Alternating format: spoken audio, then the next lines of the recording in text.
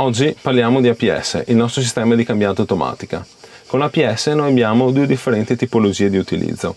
APS Field, dove abbiamo il cambio delle marce all'interno della stessa gamma, utile per le operazioni in campo, e APS Road, dove, oltre al cambio delle marce, abbiamo anche il cambio delle gamme in maniera automatica, utile per i trasferimenti su strada e per le operazioni di trasporto.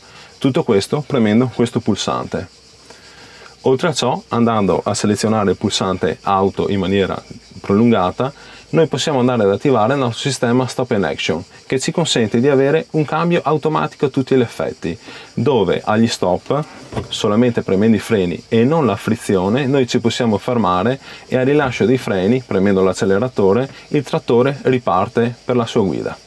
Grazie e buon lavoro con Landini.